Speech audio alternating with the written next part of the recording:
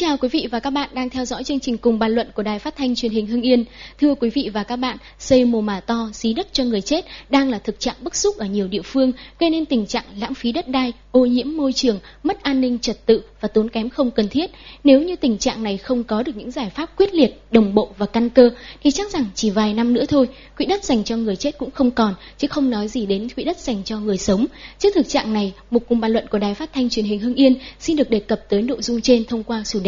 xây dựng nghĩa trang đồng bộ và tới tham gia chương trình của chúng tôi ngày hôm nay xin trân trọng giới thiệu có các vị khách mời. Xin trân trọng giới thiệu ông Bùi Xuân Hậu, trưởng phòng quy hoạch Sở Tài nguyên Môi trường. Xin trân trọng giới thiệu bà Trần Thị Huế, trưởng phòng văn hóa thể thao huyện Phù Cử. Và vị khách thứ ba của chúng ta ngày hôm nay đó là ông Cao Xuân Quyên, bí thư chi bộ thôn Ngô Xá, xã Quảng Lãng, huyện Ân Thi. Trước khi bước vào nội dung chính thì xin mời các vị khách cũng như là quý vị khán giả cùng theo dõi phóng sự do nhóm phóng viên của chương trình thực hiện.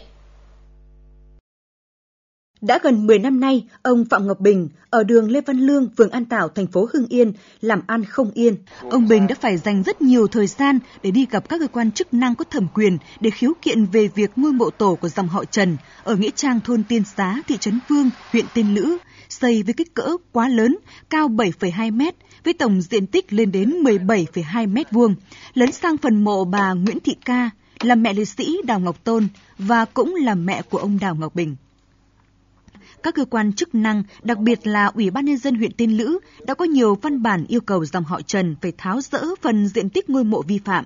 Song không hiểu vì lý do gì mà vụ việc đến nay vẫn chưa được giải quyết. Sự bành trướng của ngôi mộ như một thách thức trước công luận và gây bức xúc nhiều năm nay cho gia đình nhà ông Bình. Vụ việc xảy ra như thế tôi có gặp trực tiếp họ Trần, nhưng họ Trần cũng không có thiện chí để mà mà tháo rỡ để sau đó chúng tôi lại đi gặp các cấp chính quyền từ trung ương đến địa phương mà đến giờ này là gần chục năm mà liên tục năm nào chúng tôi cũng phải đi để mà kêu để khiếu kiện để giải quyết vụ việc mà không được thế nhà gia đình tôi là rất bức xúc khi chúng tôi thực hiện phóng sự này thì cũng là mùa cải táng dây cất mồ mả ở các địa phương trong tỉnh.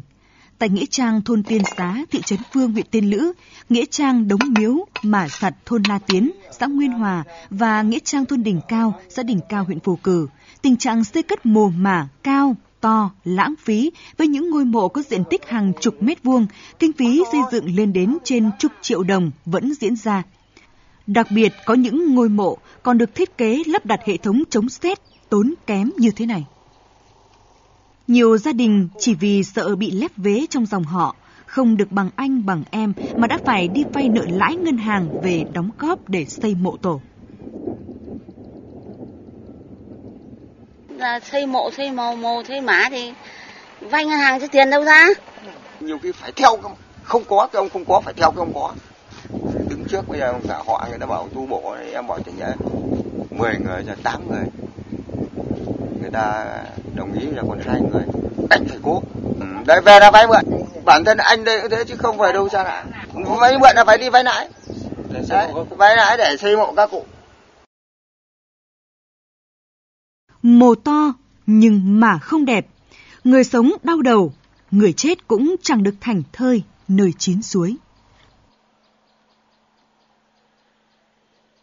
Vâng ạ, những hình ảnh vừa rồi thì chắc hẳn là gợi lên trong chúng ta rất là nhiều suy nghĩ. Trước tiên thì xin được hỏi ông Bùi Xuân Hậu, trưởng phòng quy hoạch Sở Tài nguyên và Môi trường. Xin ông cho biết là trên cương vị công tác cũng như là chức trách của mình thì ông cảm thấy ông có những cái suy nghĩ như thế nào khi mà xem những cái phóng sự vừa rồi. Và xin ông cho khán giả biết thêm về cái công tác quản lý đất nghĩa trang, đất nghĩa địa trên địa bàn tỉnh ta hiện nay ạ. Ừ, ờ, trong cái điều kiện kinh tế xã hội phát triển, cái nhu cầu về tâm linh cũng là cũng cũng phát triển Ờ, chính vì vậy mà cái việc ờ, xây dựng các nghĩa trang, nghĩa địa là cái điều tất yếu. Tuy nhiên thì ờ, qua cái phóng sự vừa rồi chúng ta nhận thấy là cái việc xây dựng nghĩa trang nghĩa địa to, xây dựng mộ to, thậm chí còn xí đất, thì cái điều đầu tiên ấy tôi muốn nói ở đây cái việc làm đấy cũng là vi phạm pháp luật về đất đai, vi phạm các cái quy định của chính phủ về việc xây dựng cái nghĩa trang, nghĩa địa. À, lãng phí cái nguồn à, tài nguyên đất đai và không theo một cái quy hoạch nhất định. Dân số thì à, ngày càng tăng cái việc phát triển công nghiệp và đô thị cũng tăng theo. Ờ, cái cái cái áp lực về đất đai, cái áp lực về nhu cầu sử dụng đất đai sẽ rất lớn. Vì vậy, cái việc sử dụng nghĩa trang, nghĩa địa thì càng ngày thì sẽ càng phải tiết kiệm. Việc quản lý cái nghĩa trang, nghĩa địa trong thời gian vừa qua thì chủ yếu dựa vào quy hoạch kế hoạch sử dụng đất cái việc mà quy hoạch xây dựng chi tiết các cái nghĩa trang nghĩa địa thì ờ, tỉnh cũng chưa ban hành một quy định nào cụ thể và ừ. việc xây dựng và quản lý các nghĩa trang nghĩa địa cũng chủ yếu là theo các quy ước và hướng ước của uh, từng địa phương. Dạ vâng ạ, rất là cảm ơn những ý kiến của ông Bùi Xuân Hậu ạ. Thì xin được hỏi bà Trần Thị Huế là từ thực tế địa phương mình thì xin bà cho biết về tình trạng xây cất mồ mả hiện nay là ra sao ạ? Vâng, à, như chúng ta đã biết ấy, thì cái vấn đề xây cất mồ mả nó là một trong những cái nội dung của cái việc thực hiện à, nếp sống văn minh ấy, trong à, việc cưới, việc tang và lễ hội. Đấy, thực tế thì những năm qua thì trên địa bàn huyện Phù Cừ của chúng tôi thì các cấp ủy đảng, chính quyền ấy, từ huyện cho tới cơ sở cũng đã rất quan tâm đến cái việc là tuyên truyền, vận động nhân dân thực hiện tốt cái nếp sống văn minh trong việc cưới, việc tang và lễ hội. Và đặc biệt là cái vấn đề xây cất mồ mả thì huyện chúng tôi cũng đặt ra là một trong những cái nội dung rất là quan trọng. Và cũng đề cập đến à, thường xuyên. Chính vì vậy mà trong những năm qua thì trên à, địa bàn huyện Phù Cử chúng tôi cũng đã hạn chế được rất nhiều những cái tình trạng là xây cất À, mồ mả to, lãng phí, tốn kém. tuy nhiên thì hiện nay nằm trong cái tình trạng chung của nhiều nơi thì trên địa bàn huyện của chúng tôi thì vẫn còn có những cái tình trạng là xây cất à, mộ uh, to rồi mộ nhỏ rồi cao thấp rồi hướng quay lộn xộn và thậm chí là còn cũng vẫn còn cái tình trạng là có những gia đình là xây mộ to và gây tốn kém lãng phí không cần thiết. À, thưa ông Cao Xuân Quyên ạ, từ thực tế địa phương về vấn đề ờ, xây cất mồ mả to thì xin ông cho biết là cái nguyên nhân nào đã dẫn đến tình trạng này ạ? Nguyên nhân thứ nhất là do kinh tế thị trường phát triển, cho nên là con cháu đi làm ăn ở các nơi xa thành đạt, cho nên từ đó là muốn báo hiếu ờ, tổ tiên cũng như là ông bà nên là cố gắng làm sao xây những ngôi mộ to để à, thứ nhất là mang tính chất báo hiếu sau đó là mang tính chất có cái mức độ là oai phong hoặc có cái ờ, thể hiện cái cái ờ, tấm lòng của con cháu đối với ờ, tổ tiên và ông bà. Vấn đề thứ hai là do việc tâm linh cho nên là các gia đình thường là có những cái quan niệm là mình xây mộ to hơn để có những cái oai phong hoặc có những cái uy nghi hơn những gia đình khác và dòng họ khác. Đấy là nguyên nhân thứ hai. Nguyên nhân thứ ba là theo tôi ấy, thì do sự chỉ đạo cũng như là sự chưa có sự thống nhất của ngành văn hóa và các uh, cấp lên uh, có cái việc xây dựng nghĩa trang uh, có một uh, quy chuẩn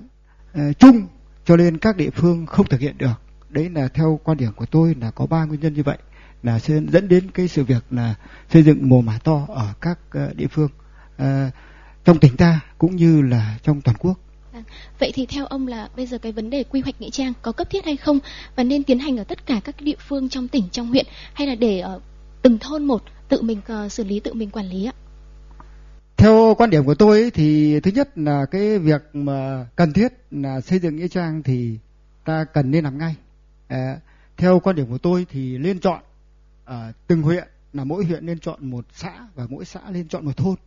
Thế nếu như trong xã hoặc trong thôn nào mà khó làm thì có thể trong thôn đó ta lên chọn một họ dòng họ để ta làm thí điểm. Sau khi ta làm thí điểm xong thì lúc đó ta mời các địa phương đến tham quan, trao đổi và có những cái kinh nghiệm. Sau đó ta từ đó ta dựng lên cái mô hình và có thể triển khai tốt.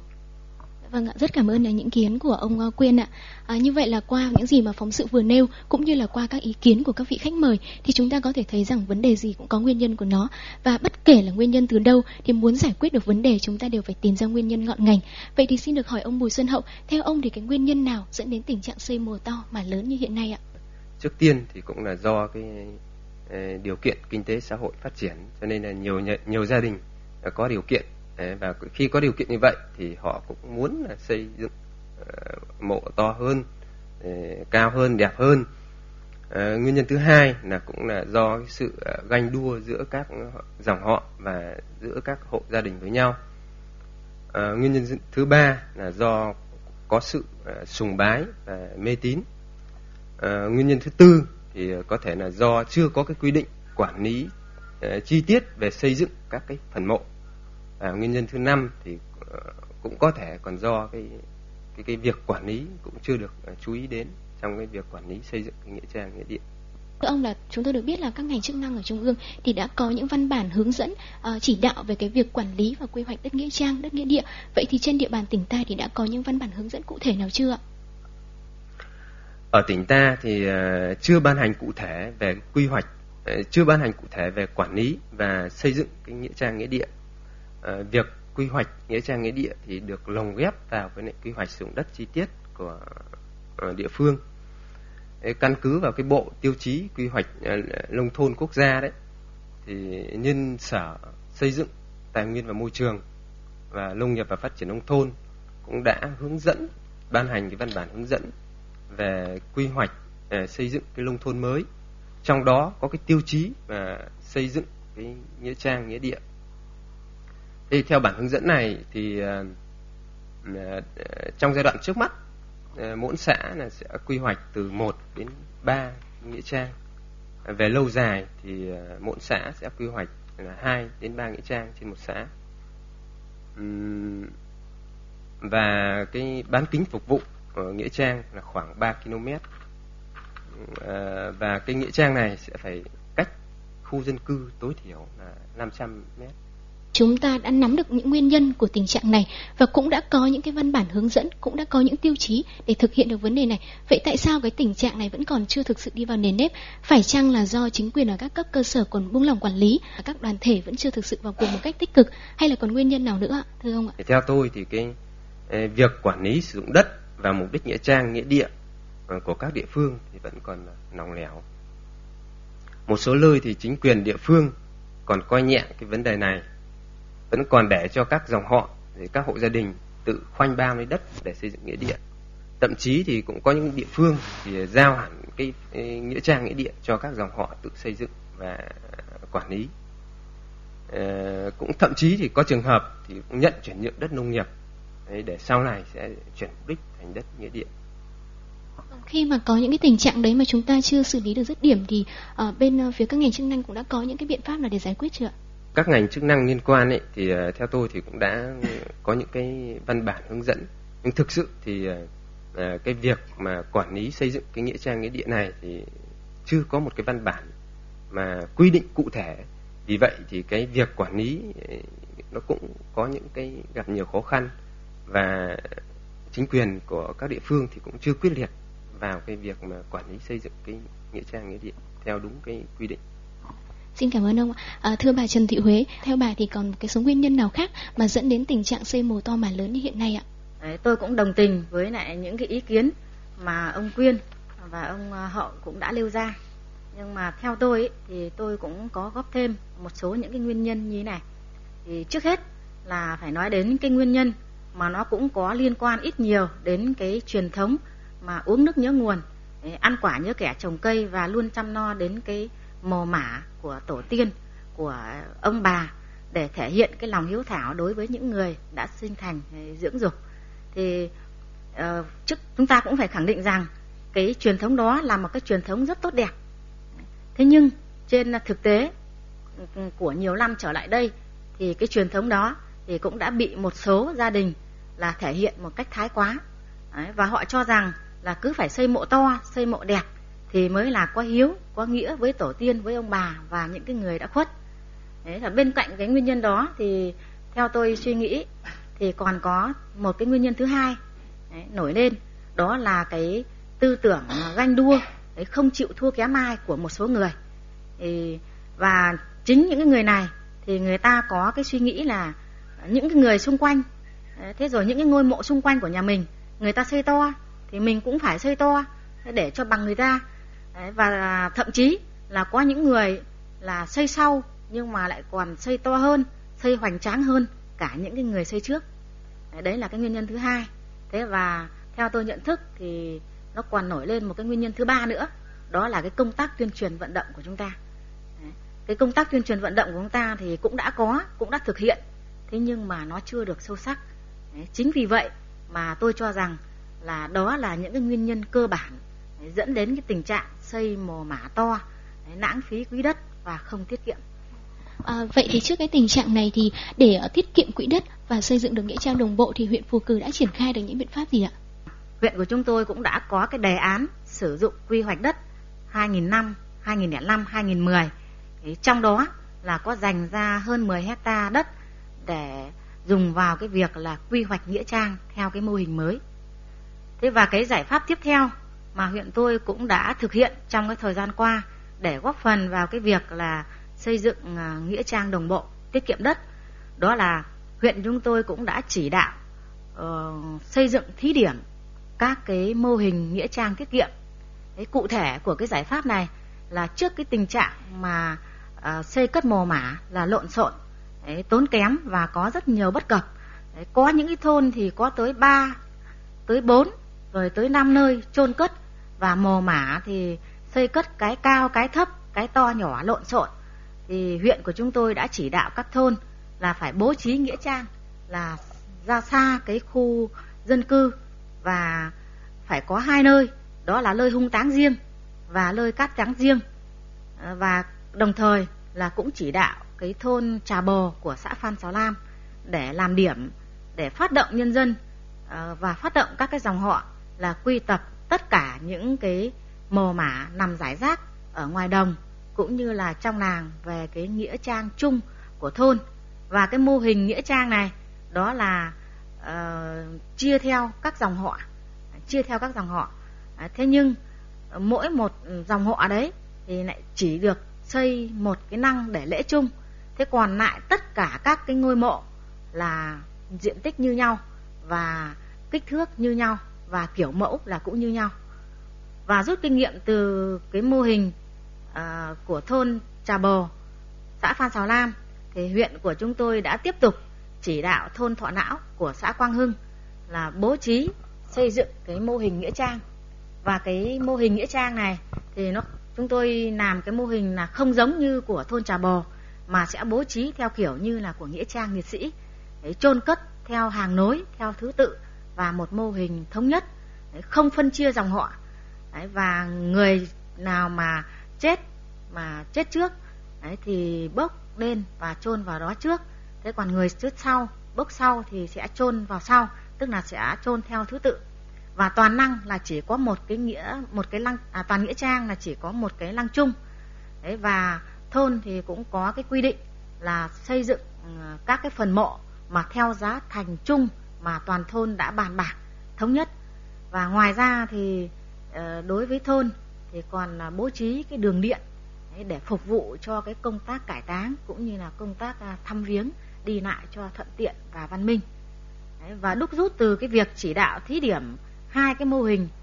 của ừ, thôn Trà Bò và thôn à, Thọ Não thì hiện nay là huyện của chúng tôi cũng đang tiếp tục triển khai nhân ra các thôn khác trong toàn huyện. Vâng ạ, vậy thì khi mà vận động nhân dân xây dựng nghĩa trang đồng bộ, tiết kiệm quỹ đất thì chúng ta có gặp phải những vướng mắc nào không ạ? À, theo tôi thì à, khi à, vận động nhân dân xây dựng cái nghĩa trang đồng bộ thì cũng thực tế là gặp rất nhiều khó khăn vướng mắc. Thế nhưng mà tập trung vào hai cái vướng mắc sau. Cái vướng mắc thứ nhất là cái vướng mắc về cái tâm lý, về cái tư tưởng ấy, của nhân dân. Đấy, bởi vì rất nhiều người là khi xây mồ mả là có cái tâm lý chọn hướng. Đấy, mà nghĩa trang đồng bộ thì không thể là tùy ý chọn hướng. Đấy, chính vì vậy mà họ không mặn mà với cái việc là ủng hộ cái uh, xây dựng nghĩa trang đồng bộ ờ, cái vướng mắc thứ hai đấy mà theo tôi ấy, đó là cái vấn đề kinh phí để triển khai thực hiện uh, xây dựng cái nghĩa trang đồng bộ À, rất cảm ơn những ý kiến của các vị khách mời và sau đây thì xin mời các vị khách cũng như là quý vị khán giả cùng theo dõi tiếp phóng sự của chúng tôi. Thoạt nhìn những hình ảnh này, có lẽ nhiều người sẽ nhầm tưởng đây là nghĩa trang liệt sĩ, chứ chẳng ai nghĩ rằng đây lại là nghĩa trang nhân dân của thôn Ngô Xá, xã Quảng Lãng, huyện Ân Thi.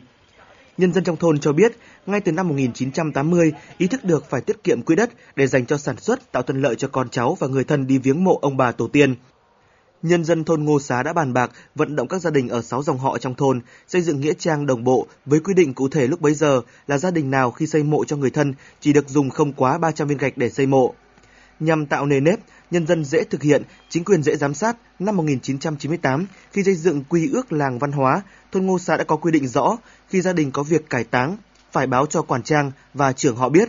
Tất cả gia đình trong thôn phải tuân thủ quy định, xây mộ dài 1,2 m, rộng 0,6 m, cao 0,5 mét.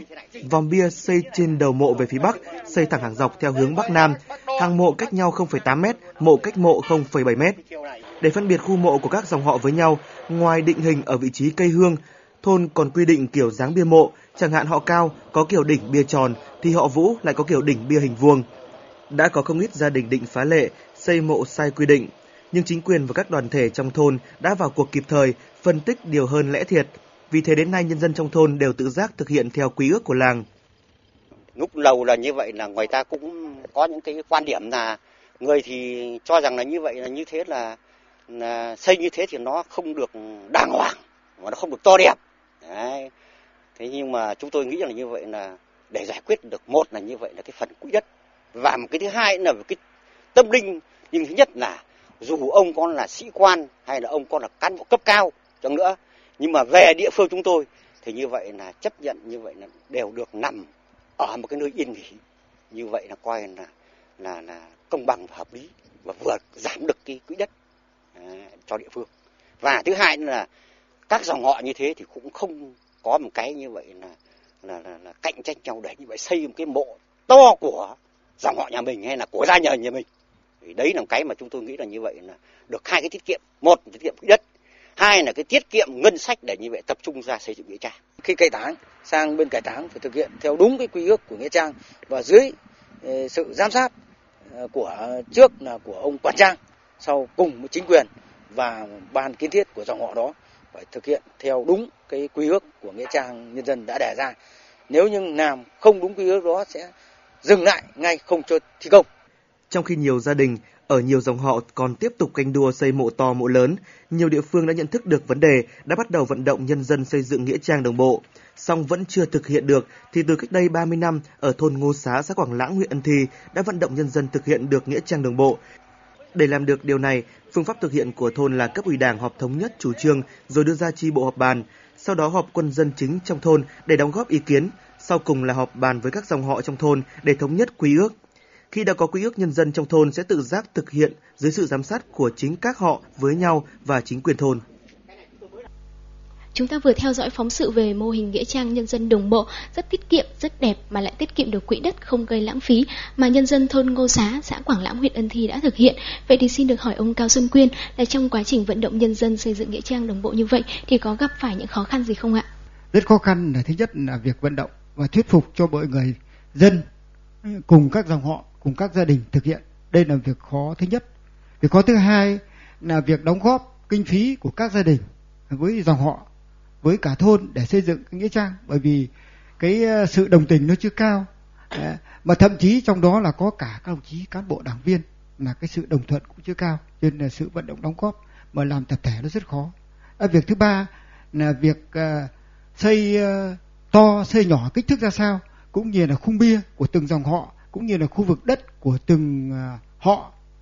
từng gia đình nó cũng rất khó thì trong đó là chúng tôi thấy có ba nguyên nhân đó khó mà khi vận động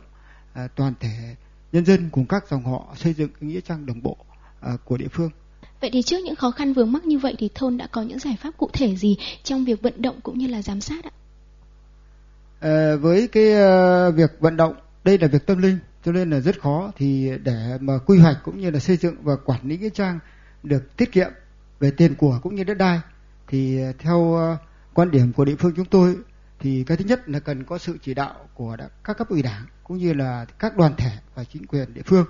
À, vấn đề thứ hai là sự đồng thuận cũng như là thống nhất của từng gia đình của từng dòng họ và cả cộng đồng khu dân cư. À, về việc chỉ đạo thì để thực hiện tốt cái việc à, à thống nhất của các à, dòng họ các gia đình thì thứ nhất là à, địa phương phải có sự giám sát quản lý thật tốt. À, mỗi một gia đình khi an táng và cải táng thì đều phải báo cho chính quyền và báo cho quản trang cũng như là trưởng các dòng họ. Để trưởng các dòng họ cũng như ông quản trang và chính quyền giám sát thực hiện về việc uh, an táng cũng như là việc cải táng là xây có đúng quy định và kích thước của địa phương hay không. Và nếu như gia đình không thực hiện thì vấn đề thứ nhất là cũng như uh, các bạn vừa xem cái phóng sự là đề nghị là dừng thi công. Đấy là vấn đề đầu tiên. Để tránh uh, cái việc sau này khi gia đình đã xây rồi thì chúng ta nó là việc tâm linh. Cho nên khi mà bắt gia đình tháo rỡ thì rất khó. Cho nên là việc quản lý giám sát của chính quyền của các đoàn thể của dòng họ cũng như là ông quản trang là rất cần thiết. Với quan điểm của địa phương chúng tôi thì chúng tôi đã thực hiện trong từ năm à, 1980 cho đến bây giờ là thực hiện rất tốt. Và nghĩa trang của chúng tôi các bạn vừa xem cái phóng sự cũng là một trong những nghĩa trang uh, có à, kích thước cũng như là quy hoạch được rất tốt. Thưa Bùi Xuân Hậu là để xây dựng được nghĩa trang đồng bộ, tiết kiệm quỹ đất cũng như là tiết kiệm tiền của thì theo ông cần những yếu tố cũng như là những giải pháp nào ạ? Ờ, cái giải pháp trước mắt ấy thì phải giả soát đánh giá lại cái việc ờ, sử dụng và cũng như là quản lý cái nghĩa trang nghĩa địa Đấy, trên cơ sở cái các cái quy định của tiêu chí xây dựng nông thôn mới mình sẽ quy hoạch lại các cái nghĩa địa theo đúng cái tiêu chí thứ hai thì ờ, cơ quan có liên quan của tỉnh sẽ tham mưu cho tỉnh ban hành một cái quy định uh, cụ thể về cái xây dựng các cái phần mộ đối với lại từng nghĩa trang nghĩa địa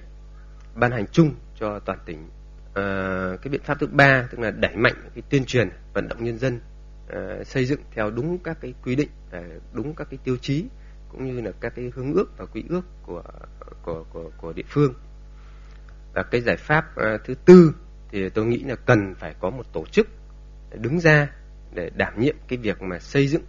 ờ, cái, cái các cái phần mộ cho dòng họ cũng như của gia đình ờ, theo đúng cái quy định ờ, không nên để cho các hộ gia đình và các dòng họ tự xây dựng. Vâng ạ, cảm ơn ông. À, chúng tôi được biết là ở những cái địa phương lân cận tỉnh ta, ví dụ như là thành phố Hà Nội này, Hải Dương hay Hà Nam thì đã có tiến hành những việc như là điều tra, giả soát về cái thực trạng đất nghĩa trang nghĩa địa và cũng có những cái văn bản để hướng dẫn cái việc quy hoạch quản lý đất nghĩa trang đất nghĩa địa. Vậy thì ở tỉnh ta thì các cơ quan chức năng đã có những cái tham mưu với các cơ quan của tỉnh như thế nào để thực hiện vấn đề này ạ? Ở tỉnh ta thì ờ, tháng 7 vừa rồi ấy, thì ủy ban tỉnh cũng giao cho sở tài nguyên và môi trường đi kiểm tra giả soát lại cái việc uh, sử dụng uh, thực trạng cái việc sử dụng quản lý cái nghĩa trang nghĩa địa. Thế qua cái việc ờ, uh, giả soát và kiểm tra ấy, thì sở tài nguyên và môi trường cũng đã đề nghị ủy ban nhân tỉnh là sớm ban hành cái quy định về xây dựng các cái phần mộ uh, trên địa bàn toàn tỉnh làm căn cứ để quản lý cái đất nghĩa trang nghĩa địa cũng như là quản lý cái việc xây dựng nghĩa trang nghĩa địa được chặt chẽ hơn hiện nay thì ờ, tỉnh đang chỉ đạo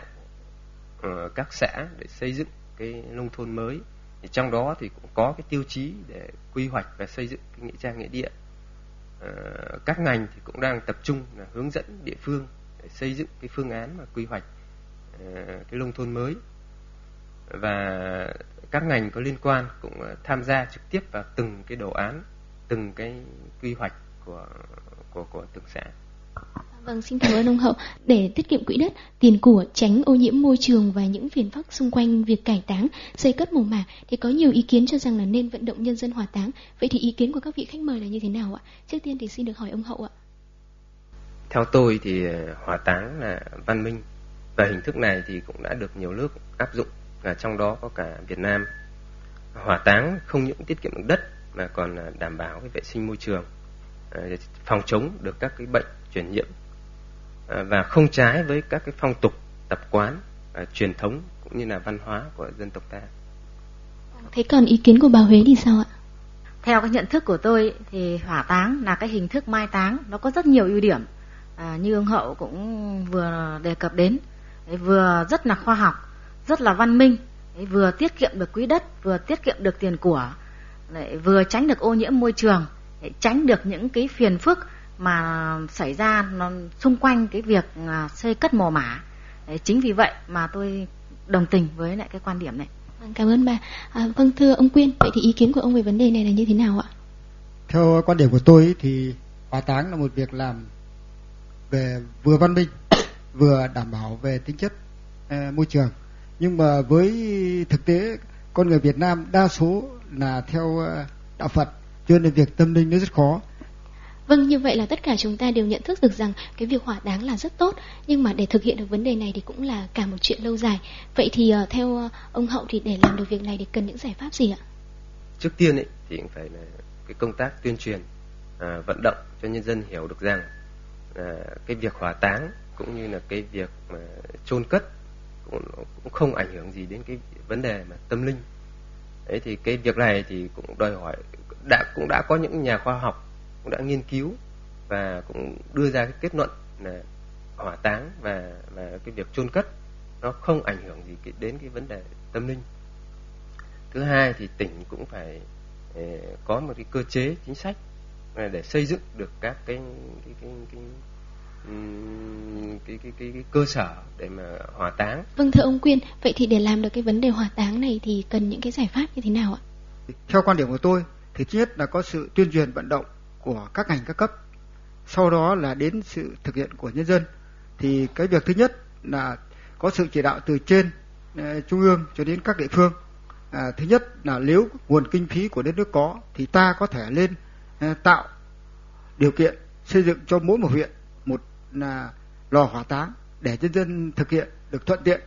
Và cái vấn đề thứ hai là lên